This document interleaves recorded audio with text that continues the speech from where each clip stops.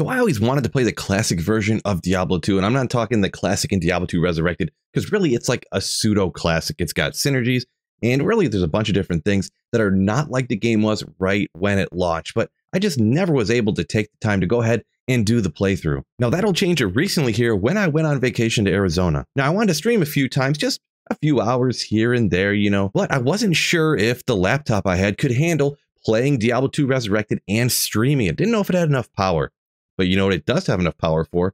A game from the year 2000. So I took this as the perfect opportunity to play the original launch version of Diablo 2. Personally, I originally picked up the game when I was a kid when the Battle Chest came out. So that was Diablo 2 along with the expansion of LOD. So I never took the opportunity to play this original version. It was incredibly fun. So this is sort of a drop highlights along with just highlights of the playthrough itself. First off, I do this playthrough with the Barbarian. I figure, hey, most people know that in original Diablo 2, you cannot buy mana potions. So this way you can leech mana back to use your skills or just use normal attacks. So this playthrough starts off by me coming out, killing a quill rat. Okay, why are you telling us that, Phil? Well, this is the first monster I kill. We move forward to the Den of Evil, and I kill one more monster and then another one. Not sure if you've seen that, take another look. So an item dropped in your third monster kill. Who cares, Phil? Well, actually, the very first item that dropped off the third monster I killed in the playthrough is actually a set item. And this is actually something crazy to find super early on because this actually is the gloves for the death set. It actually has a bunch of poison res on it in poison length reduced, which if your mind is telling you correctly here, Andariel does a crazy amount of poison damage. So this actually helps out a ton, specifically the Act Boss for Act 1. And speaking of Andariel, here we are. Now I went ahead and did as much as I could to go ahead and get ready for this, but you can't actually drink poison potions in order to get your poison res up. So it is lucky I found those gloves. The good thing with those gloves, I can go ahead and just face tank Andariel without much problem just chugging potions along the way. I just swing, swing, swing, swing, swing, swing, swing, swing, swing, swing, swing, swing, swing. Eventually, Andariel gets chopped down. And unfortunately, even though it is her quest drops, don't really get a lot some gems, that's about it. But I am awfully proud of myself for at least accomplishing this one small milestone. And uh, while doing some leveling here, actually here's where I get some actual upgrades out of an urn right here or whatever, a jar. Doesn't really look like that much, but once I did fastest hit recovery, now I believe fastest is actually 24 hit recovery. So that's not bad to get. Baby man mana, baby life, you know, things like that, but at least an upgrade. Another upgrade here while leveling in Act 2 are actually these boots. Now, they have some fire res on it, and that's actually very great, along with a little bit of walk run. Now, there aren't all the crazy uniques and stuff there are in LOD, so these are actually a great option. Someone even told me a lot of people use these all the way to the end game, people that kind of remember playing this back in the day. Act 2 continues pretty uneventful. I have to spend way too long actually leveling my character, but we go after the big dog at the end of Act 2 here. That is Duriel, kind of a similar instance to how Andariel went. Just keep swinging, and eventually we chop him down without too much of a struggle. He actually seems way weaker. His hits don't hit as hard as they do kind of in modern day, it seems anyways. I get a pretty cool drop from Duriel actually, but also kind of disappointing because it is a unique. And I mean, this giant axe, it could be great for my build if I wasn't already putting points into Mace Mastery. You kind of got to commit early on Boy, that is a beautiful looking axe if I don't say so myself. So I end up not actually being able to use this right now, but kind of just is what it is in this particular game. And you have no stash space, no stash space in order to save it for anything, and you can't transfer it over to any other characters either. So you just kind of got to toss it on the ground or just sell to Charsi. But yeah, once again, not everything you're going to find is actually going to help you out. Here is actually a set shield that, well, if you were using a shield, this would be crazy the perfect amount of block chance there, 69, and one to all skills. This full Sigon set, I bet, is awesome on any of the melee characters, but unfortunately, I'm planning on going into two-handed mauls, but you can't really use a shield with that, so you have to just go ahead and toss this out. It's unfortunate. Can't use Sigon set at all either because there's no partial set bonuses in original D2, so it's all sort of worthless to me unless it has a stat on it that can help me. Act 3 goes essentially the same as Act 2, spend way too long leveling and just get some random magic stuff to kind of level up the gear a little bit. But we go after Mephisto here. And I actually accidentally died, but there's some kind of glitch here that I don't know if it sort of killed me or if it glitched because I died, but it didn't register. No big deal, even after that happens. We'll, we'll come back around and go ahead and finish him off, and we actually get sort of a crazy drop. Oh my goodness. Now, I'm not even sure if you can find it yet, but my fingers are crossed so hard, I almost broke them. But we're obviously hoping this to be an SOJ. Early on here too, actually for melee characters, a Manald can actually help you out a ton with a little extra mana because you never want to put points into that energy, am I right? And also, getting Mana Leech on a melee character, absolutely crucial. But unfortunately, we get a Nagelring, and here early on, in Diablo 2's history, it only got 15 all the time. There was not a range on the Magic Find, so unfortunately, this doesn't really help me out a ton at this point.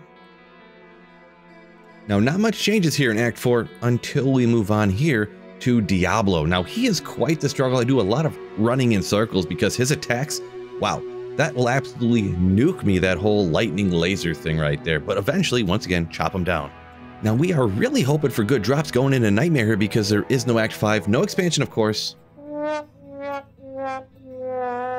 Well, that's a little unfortunate, but the game's over. The countdown begins until we're kicked from the game. We gotta leave before then or it just kicks us out of here. So make sure we're paying attention there and we're moving on to Nightmare. Is what you would think, but actually I got my absolute ass handed to me constantly, so I had to go ahead and level, find some better gear and stuff like that here at the end of normal difficulty. So I actually needed to find something with Mana Leech on it. So there we go, I find it, but then I lost my Life Leech, and then I actually got a ring with Life Leech at the exact same time that I found the Mana Leech Amulet. So it actually doesn't seem like that crazy of a find, but getting both Life Leech and Mana Leech at the same time on two different pieces of gear actually helped me out an insane amount right now. It really gave me so many more choices to swap gear around. So I'm out here doing my Hellforge, and actually the highlight isn't the Hellforge. Now look at this right over here as the gems drop. Look at this unique Ume's Lament right here. Oh my goodness, in the same vein as finding that Sigon shield, something I don't need. Imagine if I was a necromancer. Finding that right now, it'd be insane, just insane. But unfortunately, we pretty much just got to leave it on the ground because he can't transfer it and can't use it here on the old school Diablo 2 offline single player. Now, while leveling in the Chaos Sanctuary, I actually get a ring that helps me out a ton. Now, it has FCR on it, yes, and I don't really need it, correct. But that 51 to mana is actually huge, actually huge. Now, I believe my barb at this point only had like 32 mana total. So essentially, this is like getting, what, 125% increased mana? Which really, that number would be absolutely insane. And as a percentage, it sounds even crazier. But this 51 mana actually helps out my character quite a bit. And of course, between this clip and the last, I spent six hours leveling, and you see I transferred over to a two-handed mace and using Whirlwind instead of Double Swing now that I'm finally high enough level here at the beginning of Nightmare. I spent many hours leveling. So here we are going after the Act boss here, Act 1. Nothing crazy to find, but just, you know, some magic and rare stuff. In this game, magic and rare stuff is way great to have because you can't make rune words. You got to have something right. So here, I'm utilizing Leap Attack when I'm out of mana and also using Whirlwind. And that leap attack works surprisingly well. And actually Whirlwind works great against single targets, kind of way better than it does against big packs actually. But there we go, chopping down Nightmare Andariel. Once again, a ton of gems and not really a lot of great drops. I wonder if in this early version, gem drops is actually like inherent to Andariel because in normal and Nightmare here now, both, we've gotten a ton of gems decided to go do some Andariel runs because actually you get a lot of experience in these early versions from the Act bosses and I didn't know if I'd get lucky on items maybe from Andariel. I don't really know. I was kind of guessing and checking as I went through this game. But Andariel chopped down super easy with Whirlwind. We get another set item that could be useful. Just getting high amounts of resistance and some other things that kind of help out your builds is actually crucial here in the old school Diablo 2 here. You get some half freeze duration on the Iratha's gloves and some cold resistance.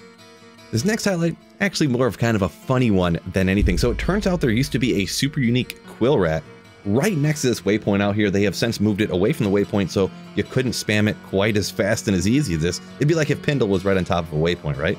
But we go ahead and slap down this pack out here. They're actually quite tough. I was trying to get experience and, of course, trying to go ahead and get lucky on items. Well, here we go ahead and get another set item here.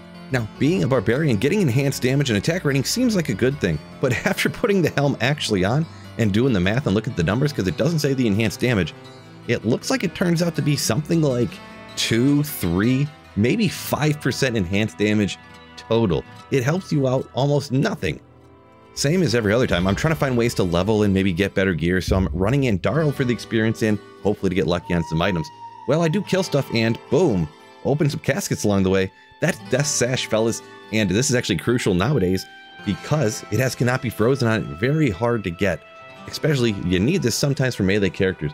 Now for Whirlwind back in the day, not as crucial because actually when you get frozen, when you don't move, you actually hit monsters even more. So I use this from time to time, but I actually end up not using it that much. On top of that, this would usually be a good partial set nowadays, but there are no partial set bonuses back in the day, so I don't get the increased attack speed or the leech or anything like that. Now, I had heard that gambling back in the day like this was actually amazing way to get, well, the uniques you needed. Now, there's only the lowest level uniques, like the normal level of items. There's no exceptional uniques, and there wasn't even elite base stuff in the game yet. So I heard there was a 3% chance of actually getting a unique when you gambled something. So here's what I'm going ahead and do, gambling all different types of stuff, rings and different things like that, trying to get an SOJ or a Manald or something like that. But I do need a better maul too, right? And there's one called a Bone Snap. Now, what's the chances I would get one of those right away, right? Right? Right?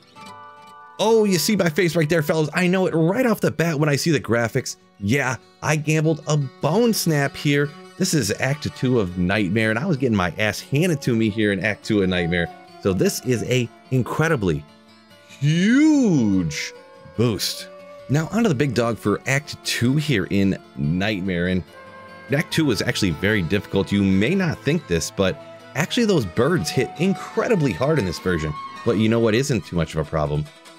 We've got Duriel right here. A few whirlwinds through, there's only three whirlwinds through, and look at his health. He's already over halfway down, three quarters of the way down. One more whirlwind almost took him out. Five whirlwinds chopping down Duriel in no time. Now, definitely that bone snap helped out like crazy with all that crushing blow. I am sure of it. Now, we go ahead and don't really show anything for Act 3 because there was nothing really noteworthy. We get a few levels, maybe find a few magic or rares that weren't that crazy. Let's look at Act 4. Now, this was incredibly fruitful, so I decided to just be a complete gambling degenerate here for a while. This is off stream, you see, no picture of me over the corner.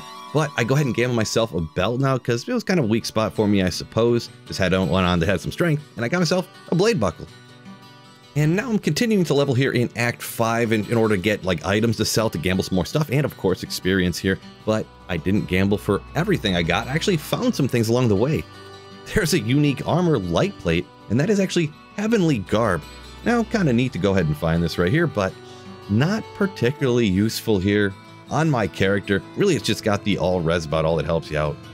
Now, just finding uniques in this game is pretty cool. And actually, I get one here, another one that's, you know, kind of neat to find, but it doesn't really help me out because I'm a Whirlwind Maul Barbarian. So here's actually a unique sword. This one is the Patriarch. Nothing really to even help me out at this point anyways. 100 gold find, I suppose, but just kind of cool to find. Back to full-blown gambling degeneracy, and here, I forgot to record before I started gambling or whatever, but I did gamble myself some Hotspurs. Notice the difference here. Instead of having the 45 to fire res here that they have nowadays, it's only 15. Doesn't help you out nearly as much, huh? After kind of thinking and looking into what uniques I could actually go ahead and get, and also which ones are cheap enough because like armors on this thing are like 200k gold and that's the max you can actually carry. So I go ahead and try to get myself some Hands of Broc. They actually have dual leech, both 3%, not that high, but I mean, it would help you out if you're dealing a bunch of damage. You can leech back a ton of mana or a ton of life, right? So eventually, it takes way too long, but here I gamble, the Hand of Broc really, really does help me out a ton. I start thinking maybe Blade Buckle not the best choice since I'm struggling with mana quite a bit, and who doesn't need some res, right? So I go ahead and try to get myself a Night Smoke, and it doesn't take me long. This is like the third belt I gamble of it. I get myself a Night Smoke. If only it was always that easy. As of right now on the playthrough, Nightmare Chaos Sanctuary is actually as far as I got. This game is incredibly hard, especially when it's so difficult to level on offline single player, because there is no player's X command, so it's all players one difficulty leveling. Oof. Another reason is this glitch right here. If you've seen what happened there, I was whirlwinding, and then I went ahead and died. But there's some glitch that you die while you're not dead and you come back to life, but you're not dead. So the thing is, you can't go back to town and run out and get your body again and continue the run. So it's essentially like old school PlayStation games where if you die, you go back to the previous checkpoint and you got to go into it again. You can't pick up from right where you died and left off. So unfortunately, this glitch is incredibly painful in the Chaos Sanctuary because it is so hard. It's so hard, especially when you're whirlwinding, you get hit with a bunch of attacks that you don't even see because of other glitches in the game and just a ton of issues like that. So this particular glitch that you're seeing a few different examples of right here is kind of why right now I'm playing off stream, just playing for fun in my downtime. But this is why I ended up kind of holding up right here at the beginning of Nightmare. I'm going to continue this. I'm going to try to eventually finish the game through hell difficulty. But on this particular build, on this particular character, man, Chaos Sanctuary is a struggle, a struggle. I would highly recommend anyone who loves Diablo 2 try out some of these old patches, pre-LOD type of stuff. It's incredibly fun and challenging, but fun. If you want to see a lot of the ways that the game is different than current modern day D2R, check this video out right up over here. Peace out, fellas, and keep slaying.